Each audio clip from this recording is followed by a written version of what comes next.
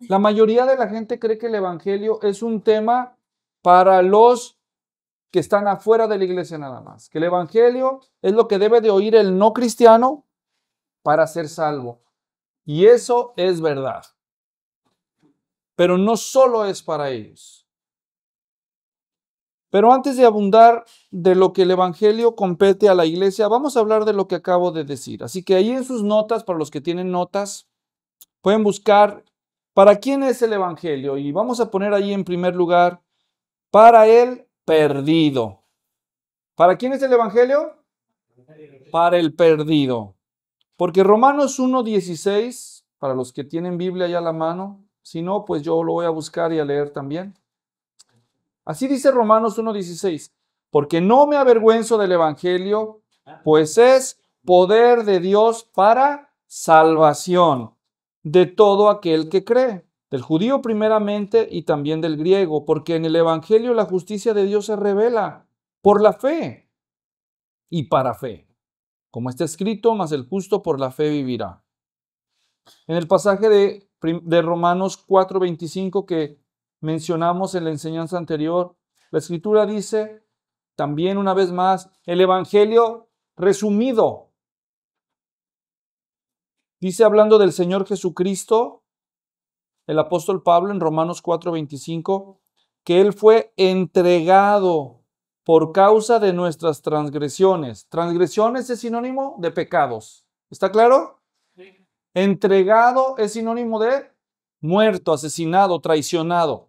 Cristo fue entregado a la muerte por nuestras transgresiones, es decir, por nuestros pecados, y resucitado para nuestra justificación.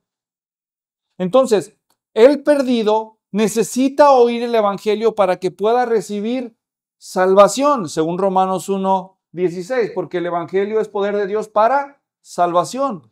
El perdido necesita oír y creer en el Evangelio para su justificación, porque Cristo murió por nuestros pecados y resucitó para nuestra justificación.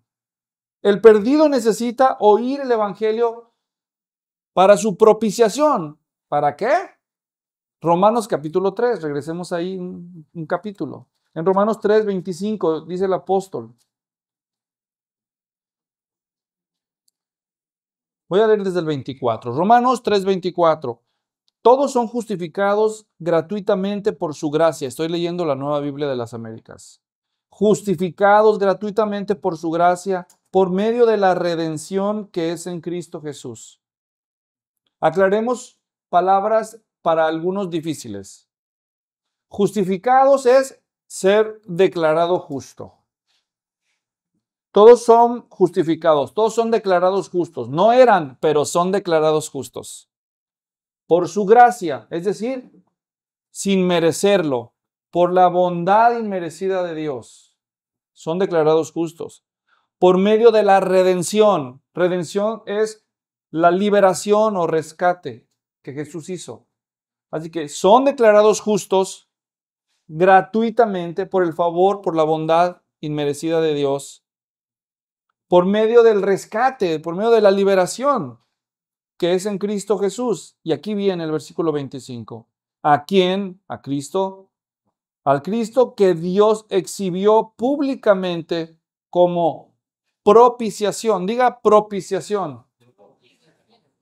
Propiciación. Y algunos se preguntan, ¿qué es la propiciación? La propiciación es, es tomar la ira sobre él mismo. O otros lo dicen aplacar la ira, detener la ira o absorber la ira, el enojo. La Biblia dice que el pecado del hombre, la injusticia del hombre provoca el enojo, la ira de Dios. En Romanos 1.18 dice que la ira de Dios se revela desde el cielo contra toda injusticia e impiedad de los hombres que detienen con injusticia la verdad. Las injusticias del hombre provocan el enojo, la furia, la ira de Dios. La ira de Dios se revela desde el cielo contra toda injusticia e impiedad de los hombres. Esa ira no la merecemos. Pero viene Jesucristo y se interpone entre la ira de Dios y nosotros como un escudo. Allá en México tenemos un héroe de la independencia que le llaman el Pípila.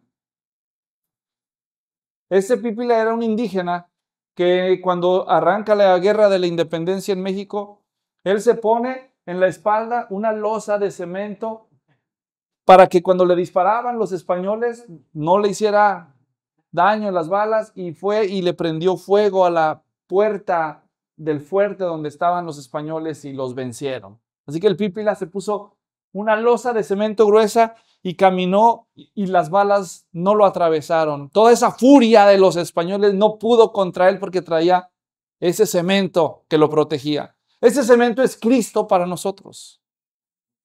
La ira de Dios que nosotros provocamos por nuestro pecado y toda la raza humana, Cristo se interpuso entre nosotros y Él absorbió en la cruz esa ira sobre sí mismo. Esa es la propiciación. Cristo cargó la ira sobre sí mismo, la ira que nosotros merecíamos. Hermanos, yo podría seguir diciéndoles cuántos beneficios recibe el pecador perdido cuando cree en el Evangelio. Cuando cree en el Evangelio, el perdido recibe salvación. Cuando cree en el Evangelio, el perdido recibe justificación. Cuando cree en el Evangelio, el perdido recibe liberación o redención. Cuando cree en el Evangelio, el perdido recibe propiciación. Cuando cree en el Evangelio, el perdido recibe expiación. Y unas muchas palabras más que hay que irlas explicando una por una cuando uno es nuevo. En pocas palabras, todo lo que necesita un hombre, una mujer pecadores para estar en paz con Dios se recibe por medio de nuestro Señor Jesucristo. Por eso necesitamos predicar el Evangelio. Porque es una necesidad del perdido. Así que sí tienen razón ustedes. ¿Para quién es el Evangelio? En primer lugar, pues es para el perdido. Porque la palabra de la cruz, otra manera de llamar al Evangelio, es locura para los que se pierden, dice. O sea, es para ellos, aunque es locura, es para los que se pierden. Pero no solo es para ellos, también es para nosotros, que ya dejamos de estar perdidos y ahora somos salvados. Antes estábamos perdidos y creímos este Evangelio y decimos, gracias Dios, nos ha salvado. Porque el Evangelio es poder de Dios para salvación. Y entonces uno de los nombres que usamos nosotros es el de ser salvos. Decimos, no, yo soy salvo por la gracia de Dios en el Evangelio. Así que, ¿para quién es el Evangelio? Para el perdido. Pero número dos, también el mensaje del Evangelio es para el salvo. Anote ahí. El, el, mensaje del Evangelio es para que el perdido llegue a ser salvo. Y también es para que el salvo llegue a ser santo. ¿Ok? Número dos. ¿Y quién es el salvo? Usted Dios permita que usted sea salvo. Y si no, pues puede serlo hoy. Pero tiene que creer en el Evangelio. Tiene que arrepentirse y creer en el Evangelio. Como ustedes ya han escuchado, antes lo he dicho muchas veces, arrepentirse de nuestros pecados y creer en el Evangelio no es el Evangelio. Eso no es el Evangelio. El Evangelio es que Cristo murió por nuestros pecados, conforme a las Escrituras, fue sepultado y resucitó para nuestra justificación. Esto es el Evangelio. Lo que Dios exige en respuesta a este Evangelio es que nos arrepintamos y que creamos en el Evangelio.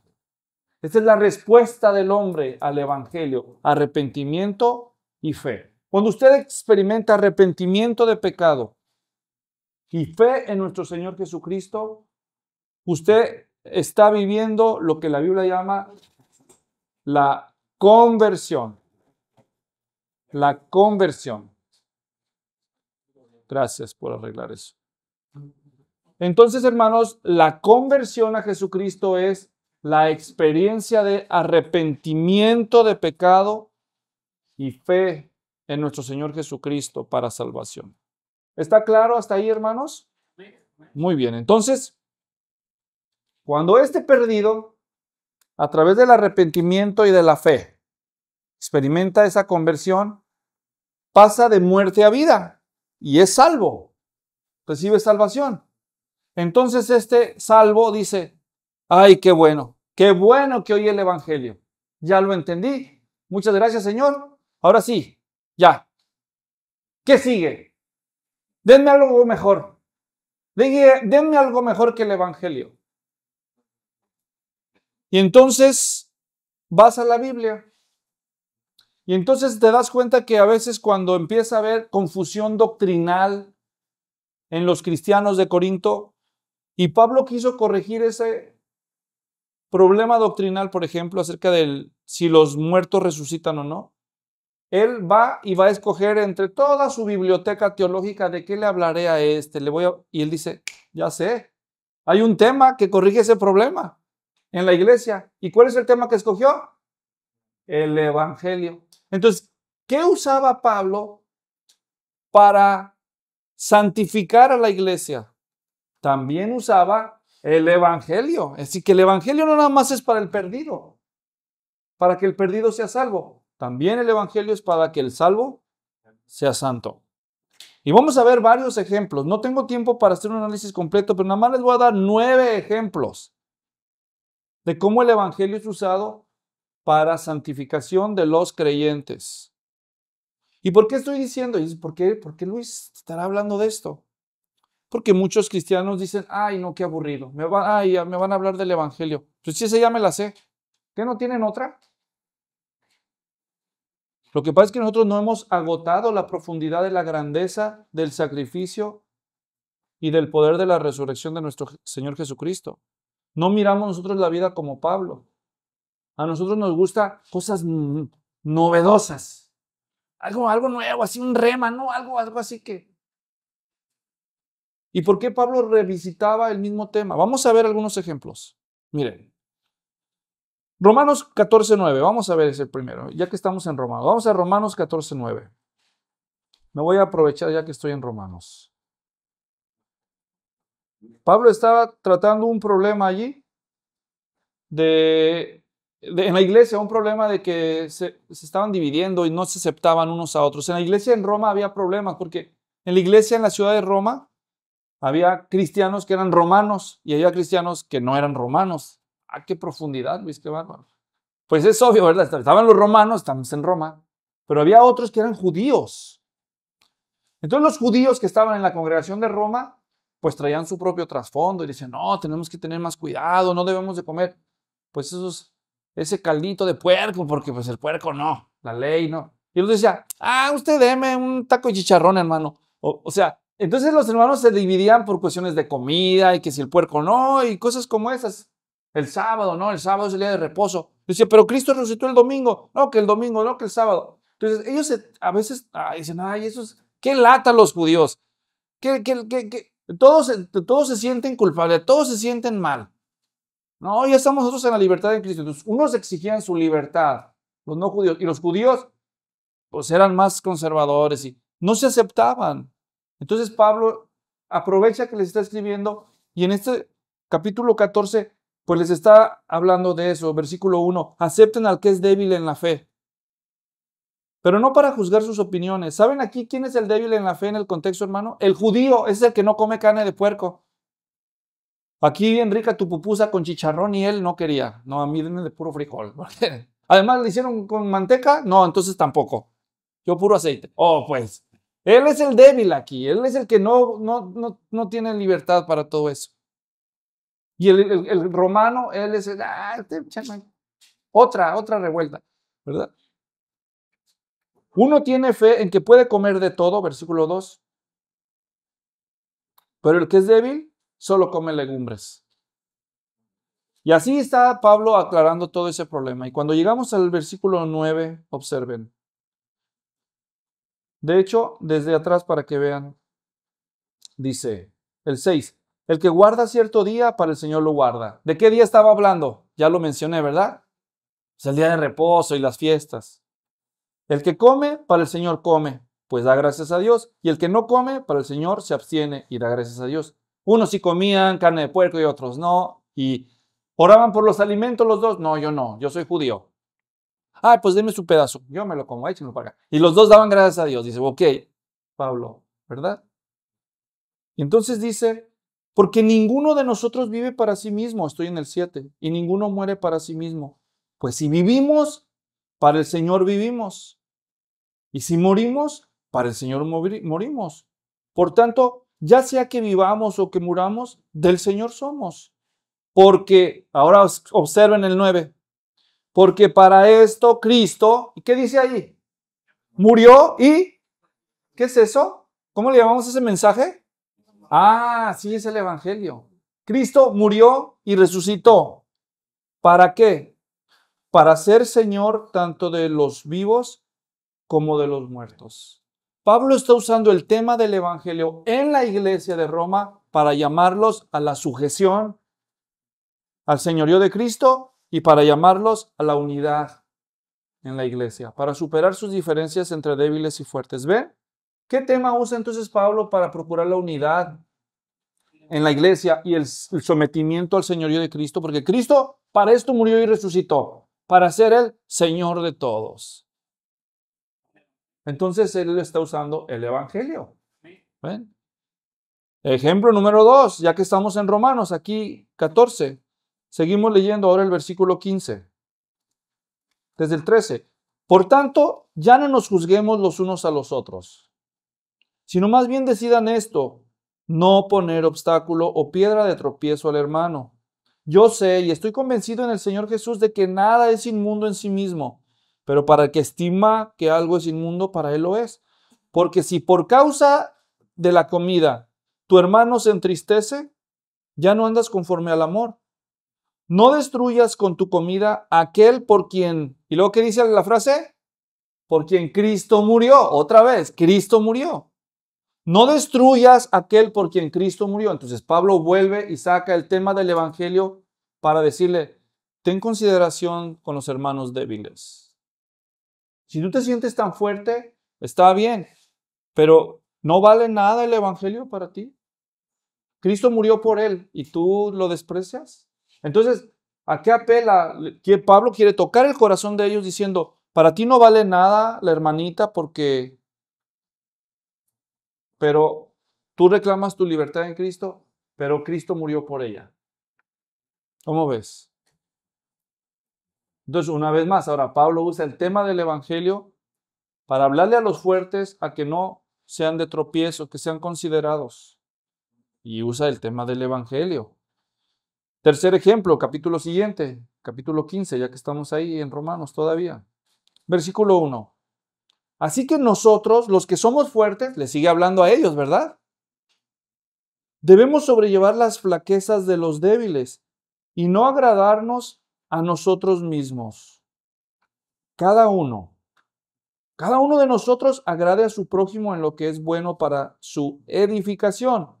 Pues ni aun Cristo se agradó a él mismo. Antes bien, como está escrito, los insultos de los que te injuriaban cayeron sobre mí. ¿De qué está hablando? ¿Eh? Cristo no se agradó a sí mismo. Y si no queda claro, brinquen hasta el versículo 7. Por tanto, acéptense los unos a los otros, como también Cristo nos aceptó para la gloria de Dios. ¿De qué está hablando? ¿Verdad? Cristo llevó los insultos sobre sí mismo. ¿De qué está hablando? De los padecimientos de Cristo. Dice, mira, hermanos, yo quiero llamarlos a la edificación. Es la palabra que él usó en el versículo 2 al final. Cada uno de nosotros agrade a su prójimo en lo que es bueno para su edificación porque ni Cristo se agradó a sí mismo. Cristo murió por nosotros, está diciendo. Así que, hermanos, para edificación, no busquen agradarse ustedes mismos, busquen edificar al hermano, a la hermana, porque aún Cristo no se agradó a sí mismo, sino que y saca el Evangelio otra vez, ¿verdad? Para procurar la edificación en la iglesia. Siguiente ejemplo. Ahora vamos a Primera de Corintios 6 la siguiente carta en la lista. Dele vuelta ahí unos cuantos capítulos, capítulo 6, un pasaje muy conocido para muchos. Versículo 18.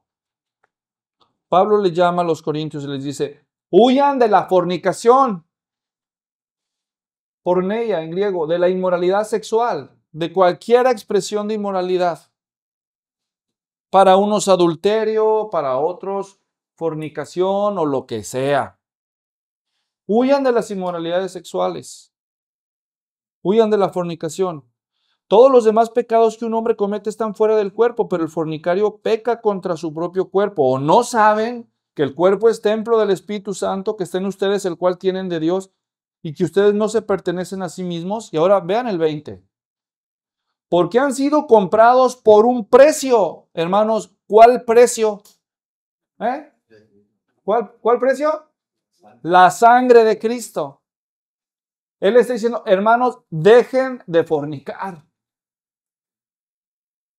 Ustedes no pueden agarrar su cuerpo para estar haciendo esas cosas. Ustedes los compró Cristo con su sangre, ustedes los compró Cristo con su muerte.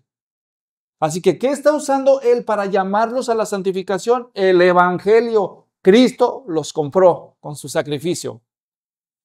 Una vez más, Él apela al Evangelio para llamar a la iglesia a la santificación.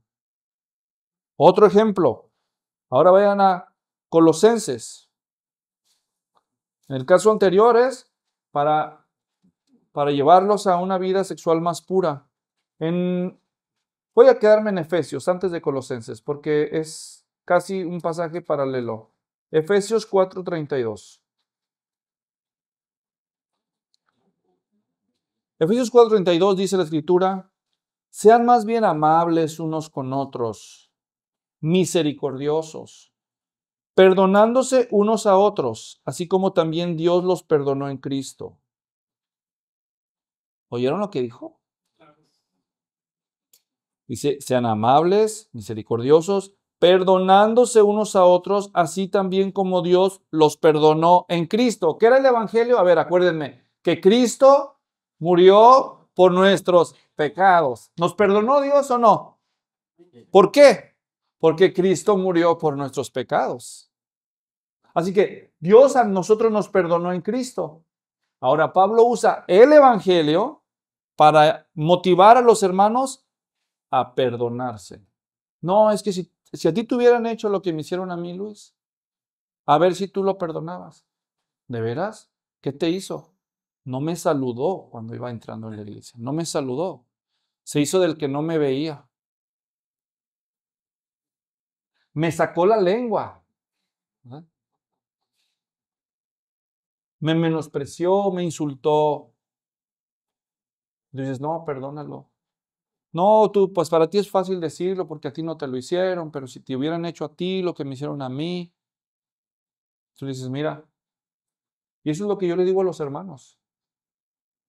En honor del Evangelio, perdónalo. En honor del Evangelio. Porque si no perdonáis vosotros vuestros pecados a vuestros hermanos, tampoco su Padre los va a perdonar a ustedes. ¿Quieres que Dios te perdone? Sí, pues ya te perdonó, ahora perdona tú. No, pero que ahí está el Evangelio. ¿O qué?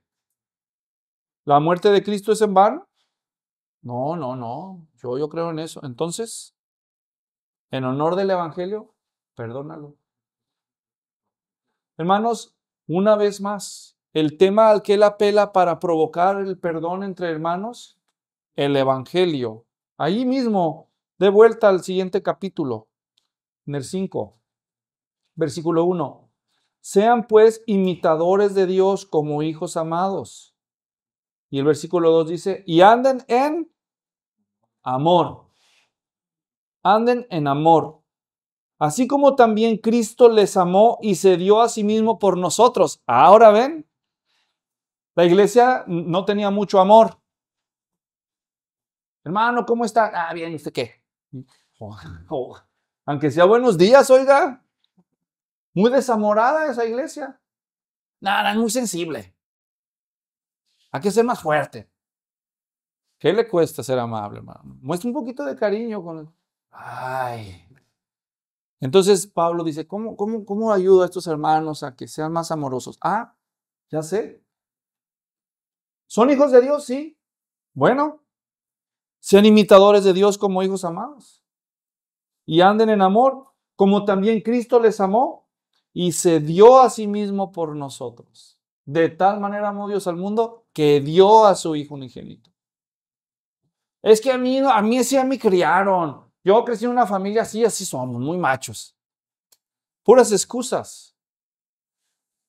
El Evangelio nos llama al perdón, al amor, a la pureza sexual, a la unidad, a la aceptación, a la edificación, a la consideración. Todos estos temas tan variados en la vida de la iglesia y Pablo siempre el mismo as bajo la manga, ¿verdad? El Evangelio, nuestro Señor Jesucristo. Cristo es el corazón del Evangelio, hermanos. No necesitamos remas nuevos y sofisticaciones, solo necesitamos un hombre, su nombre es Jesús, quien nos amó y se dio por nosotros y luego se levantó para ser el Señor de todos. Para esto murió Cristo y también resucitó, para ser el Señor de todos. Así que si vivimos, para Él vivimos, si morimos, para Él vivimos, porque de Él somos. No hay tema que tú no puedas abordar en la iglesia donde Cristo no te sirva, donde el Evangelio no sea útil. Por eso el Evangelio no solo sirve para que el perdido sea salvo, sino para que el salvo sea más como Cristo. Ahora fíjense ustedes la desgracia de la iglesia moderna. Hay miles de iglesias que dicen ser cristianas y cuando tú vas a algunas de sus reuniones te hablan de cualquier cosa menos de Cristo. Si yo voy a una mezquita mahometana, te hablan de Mahoma. Si me meto a un templo budista, me hablan de Buda. Pero si me meto a una iglesia cristiana, me hablan de lo que sea, menos de Cristo.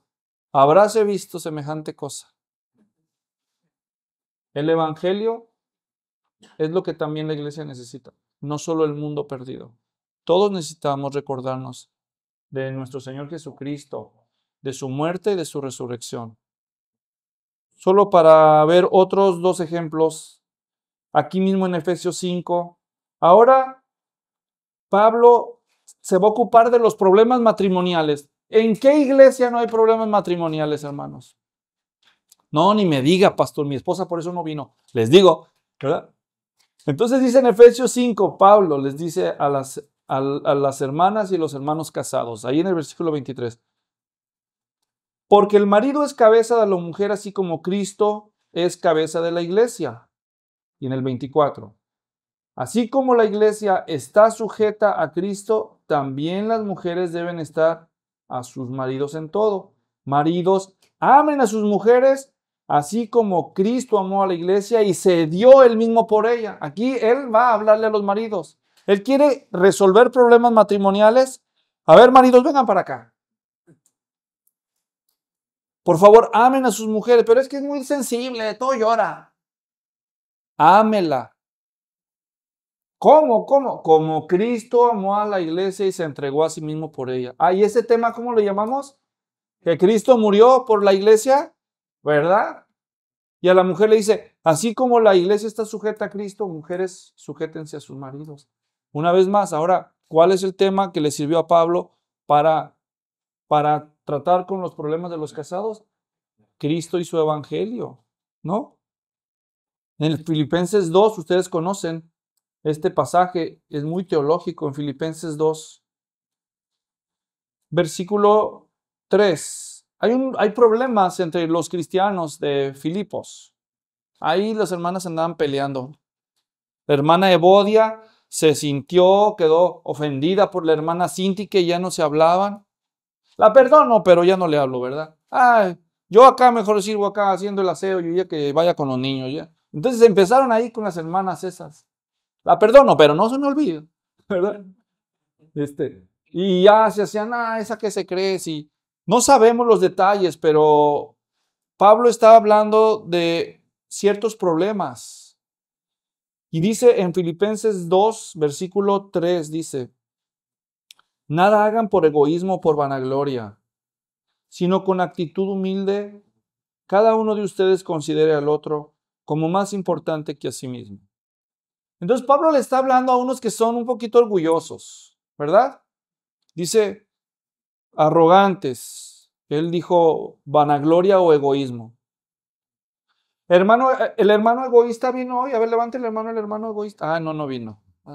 Nadie de nosotros en la iglesia hubiera levantado la mano. Si Pablo hubiera estado en Filipenses, dijo, a ver, ¿dónde está el egoísta? ¿Egoísta Floriano, dónde está? No, no, no, vino. Dice que no éramos dignos de que Él viniera, que nos honrara con su presencia.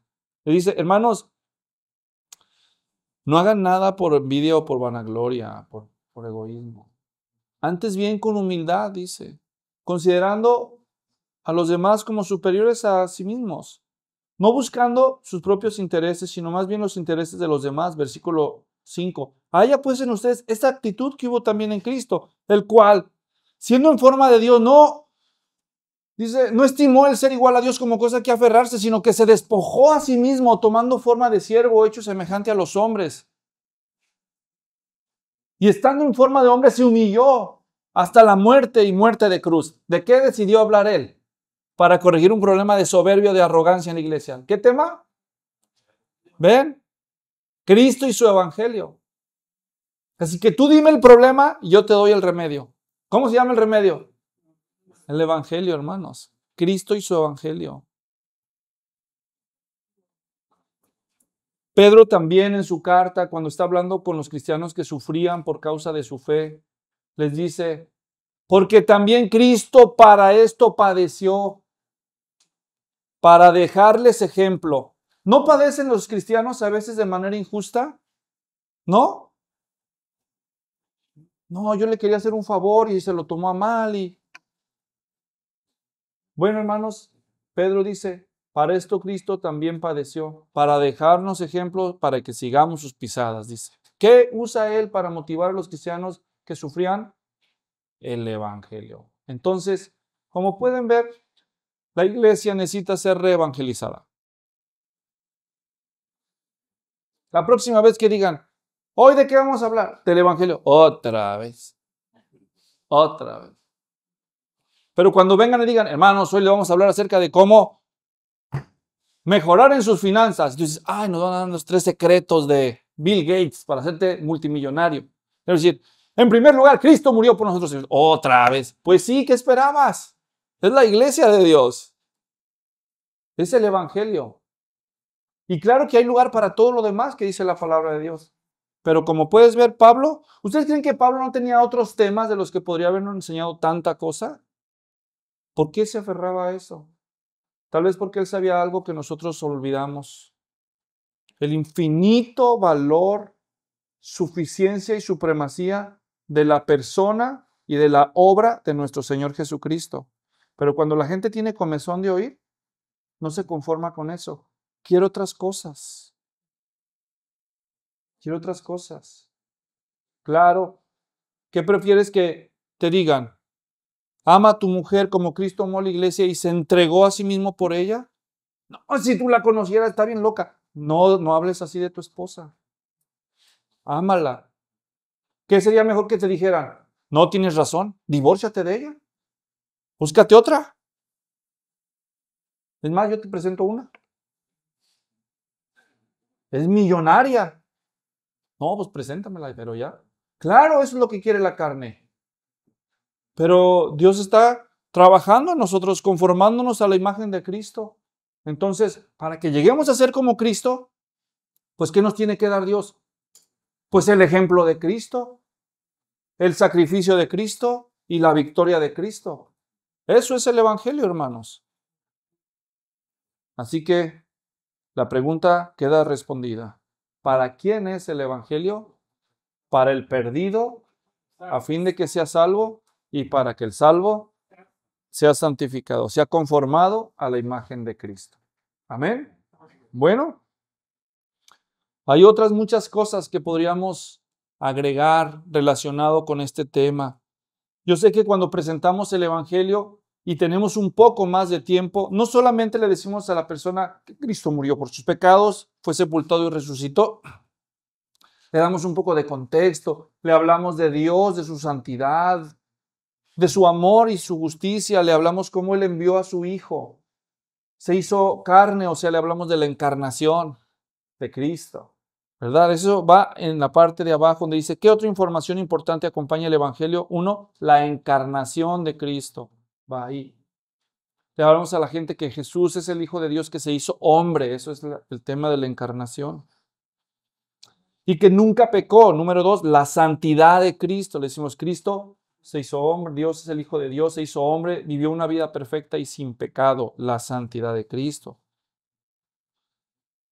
Él murió, resucitó y después ascendió al cielo y un día regresará. Le hablamos número 3 del regreso de Cristo para juzgar. Un día regresará a juzgar a vivos y a muertos y también a ti. También a ti te va a juzgar. Por eso el Evangelio es tan importante, tan urgente, porque Cristo volverá. Eso es el regreso de Cristo. Número cuatro, la demanda de Cristo. Este Evangelio exige de ti una respuesta. Ya lo dijimos, arrepentimiento y fe. Número 5. El pronóstico de Cristo para quien crea y para quien no. Debes creer este mensaje, porque un día Cristo volverá y nos juzgará a todos, a vivos y a muertos, y el que no cree este mensaje será condenado. Pero el que crea tendrá vida eterna. Ese es el pronóstico que espera al ser humano, dependiendo de lo que decida hoy. Si crees en el Evangelio, serás salvo, serás perdonado. Pero si rehusas creer en el Evangelio, serás perdido, serás condenado. Ese es el pronóstico. Y si ustedes analizan la presentación del Evangelio en las Sagradas Escrituras, van a ver cómo, dependiendo la ocasión, los evangelistas incluían algunos de estos subtemas. Pero lo que nunca faltó fue la muerte y la resurrección de Cristo. Cuando Pablo estaba con el rey Agripa, y dice que él oyó acerca, bueno, con Félix, y dice que cuando oyó él y Drusila acerca del juicio venidero, o sea que él no solo presentó el evangelio, sino que les dijo, y va a venir a juzgarnos, ¿eh?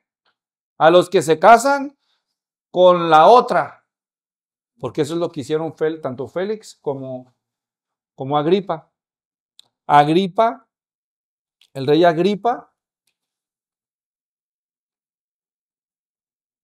era inmoral. Herodes Antipas era inmoral.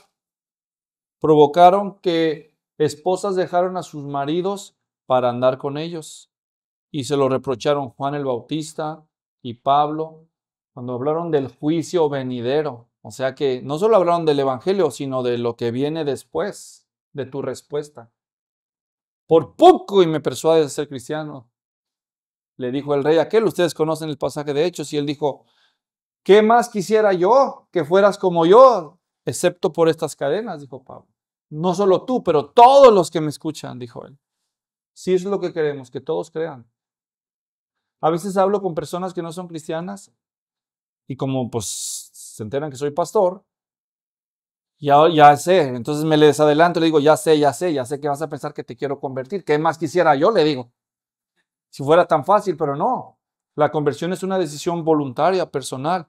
Yo no puedo lavar el cerebro a nadie ni que te faltara el respeto que fueras tan tonta persona. Tú tienes que oír y creer, pero lo que tú decidas va a afectar. Así que si por mí fuera claro que te haría cristiano, pero eso no me toca a mí, eso, eso le toca decir. Yo así les hablo, hermanos, sí, ¿para qué andarme por las ramas? Y la gente razona. La gente razona y se da cuenta que yo les muestro respeto y yo les estoy hablando las cosas como son. Entonces, hermanos, ahí está. Ahora, hago un resumen. Cristo es el Hijo de Dios, que se hizo hombre, vivió una vida santa, justa y sin pecado, murió para nuestro perdón y fue resucitado para nuestra justificación. Él volverá a juzgar vivos y a muertos, a quienes se arrepientan y crean en Él como Señor y único Salvador serán perdonados y quienes no lo hagan serán condenados. ¿Y tú crees en el Evangelio? Así que, número uno, comprendan el Evangelio. Por eso lo explicamos una y otra vez. Hermanos, antes cuando llegaba gente nueva a nuestra iglesia, yo les preguntaba, oh, bienvenido, ¿de dónde vienes? ¿Quién te invitó? No, pues yo iba a otra iglesia. Ah, sí. Ah, bueno, qué bien. A ver, ¿qué es el Evangelio para ti? Y luego me respondían a la pregunta, ¿qué es el Evangelio? Yo pensaba, pues ¿a qué iglesia iría este? Híjole, ve nomás, ¿qué respuesta? ¿Qué te enseñaron? Pues ¿qué predica esa iglesia? Si eso crees que es el Evangelio. No, no, no. Y entonces yo decía, ese pastor, qué mal. Ni para eso fue bueno. Pero cuando pasó el tiempo, y entonces yo le preguntaba a los de mi propia iglesia, a ver, hermano, dígame el Evangelio. Mm. ¿A quién le echó la culpa, hermanos? ¿De qué pastor me quejo ahora? Hermanos, eso no es para otros. Esto es para mí y para los míos. Así que no te sorprendas. Por eso hay que hablar de estas cosas una y otra vez. Porque es fácil olvidar las cosas importantes. Comprende el Evangelio. Ya que lo comprendas, comunícalo claramente. No solo debes comprender claramente el Evangelio, tienes que aprender a comunicarlo claramente, pero nunca lo harás si ni siquiera lo comprendes para empezar. Y después aprende a conectar los deberes de la vida cristiana, los deberes del cristiano con el Evangelio, como el apóstol Pablo hacía. Oremos, Padre, te damos gracias por el Evangelio, por el santo Evangelio, así lo llamaste tú también, por el eterno Evangelio, el Evangelio de la gracia, dijiste en otro lugar, el Evangelio de tu Hijo, el Evangelio de nuestro Señor Jesucristo, nuestro Evangelio, mi Evangelio, como dijera Pablo. Muchas gracias. En el nombre de Jesús, amén.